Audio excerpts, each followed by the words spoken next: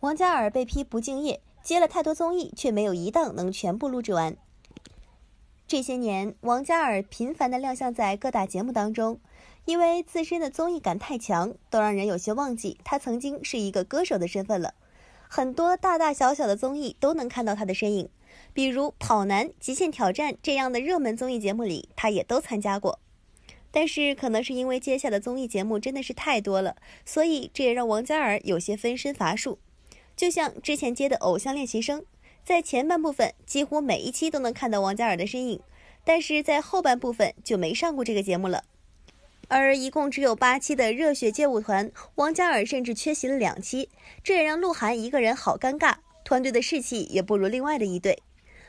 很多的网友纷纷表示，其实节目真的可以少接一些，如果一次性接的太多，之后录制的档期出了问题，一直频繁的请假或是中途退出，这样真的很败坏路人缘。如果真的是因为档期的问题，可以不要接这么多的节目。